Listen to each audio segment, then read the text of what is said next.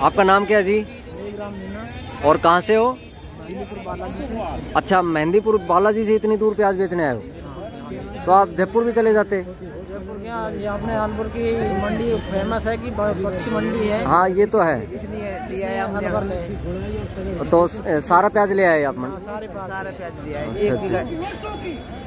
तो क्या भाव बिका आज आपका? आज का कट्टा के हिसाब से भाव बिका ढाई सौ रुपये कट्टा। ये कट्टे हैं। और इनमें ढाई सौ रुपये मन के हिसाब से या ढाई सौ रुपये? ढाई सौ रुपये कट्टे के हिसाब से। बिका है। तो आपका तो मेरा हिसाब से किराया भाड़ा भी नहीं निकलेगा।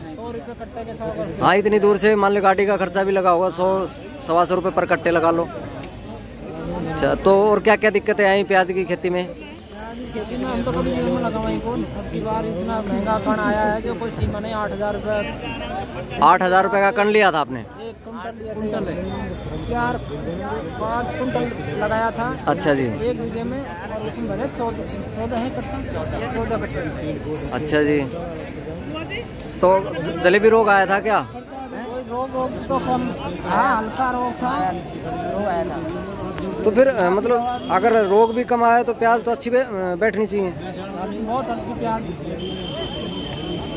अच्छा तो कुछ कहना चाहोगे यहाँ के व्यापारियों या आड़तियों को या किसानों को कुछ? और पहली बार हम इस मंडी में लेके आए। पहली बार प्याज बोया हमने क्या खाया? पहली बार प्याज बोया पहली बार यहाँ लेके आए थे। और पहली बार ही इन्होंने काट दिया।